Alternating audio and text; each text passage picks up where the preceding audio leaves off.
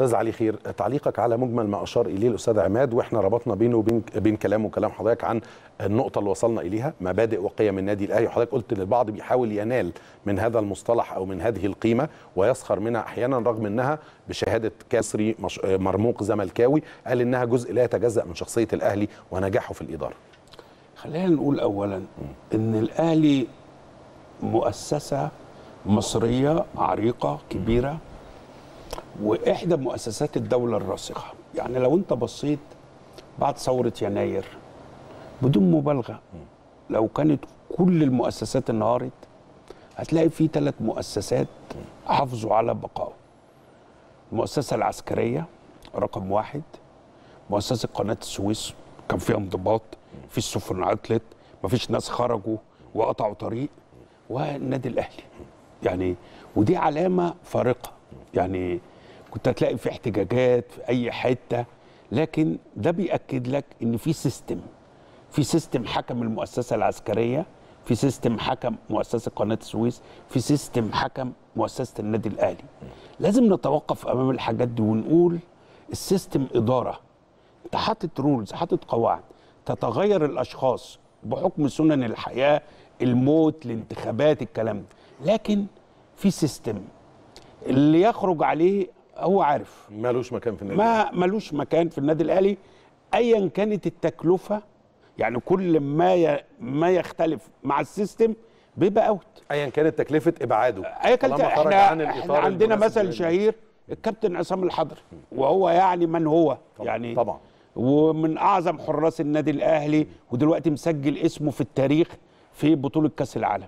مع ذلك خلاص أنت خلفت المبادئ النادي الأهلي وقواعد. مورست ضغوط سياسية على قيادات النادي الأهلي لعودة عصام الحضري في أكتر من كده ومع ذلك لا.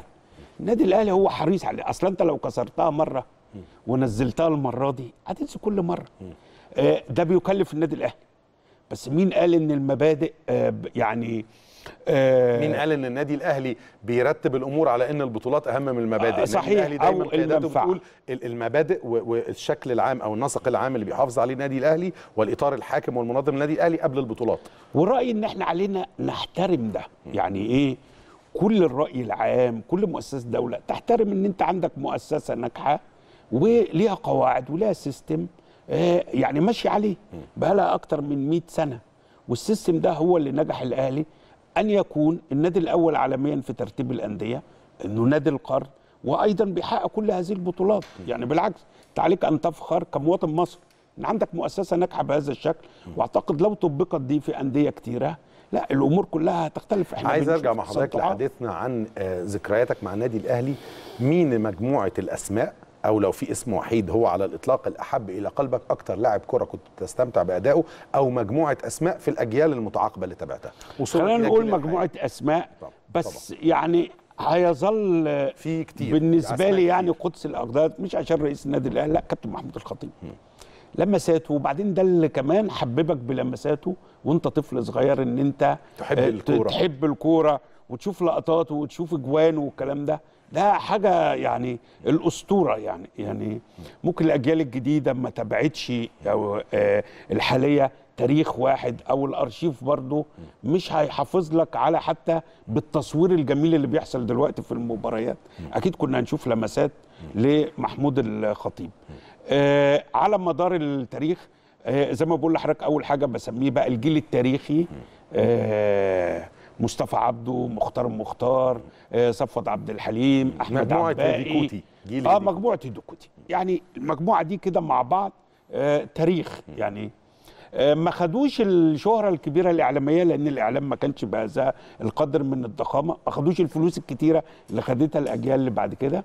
بس هتنتقل بعد كده يعني عايز أتوقف أمام الجيل بتاع مانويل جوزيه لأنه ده الجيل برضو اللي حقق بطولات آه، عديدة جيل جدا. تريكا وبركات آه تريكا وبركات وجمعة والنحاس وحسام الحضري المجموعة. وفلافيو. يعني المجموعة دي حققت يعني للنادي الأهلي آه خلي بالك أنت وصلت لكأس العالم للأندية حصلت على المركز الثالث آه في عهد جوزيه وفي عهد هذا ال- الجيل.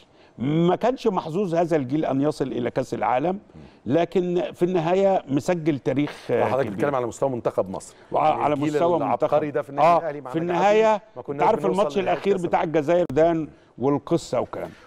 بس, يبقى في النقطة دي إن الجمهور فاكر للجيل ده حتى على مستوى المشاركات الخاصة بالمنتخبات يا أستاذ محمد النجاحات اللي حققها كأس العالم للقارات المباراة التاريخية أمام البرازيل البرازيل. الفوز على بطل العالم إيطاليا 3 1-0. 2 1 0 مباريات محمد أمتع ما حمص شفنا في مبارياتنا الدولية. محمد حمص بقيادة الكابتن الكبير آه حسن شحاتة ما هو ده الجيل أيضا اللي ساهم مساهمة كبيرة في حصول مصر على كأس أفريقيا ثلاث دورات متتالية. متتالية. يعني 6 8 10 يعني جيل جوزيه وحسن شحاته آه آه يعني دول ما أنا بقول لك أنا قفزت من الجيل التاريخي إلى الجيل الذهبي ده ما تقدرش آه تنساه.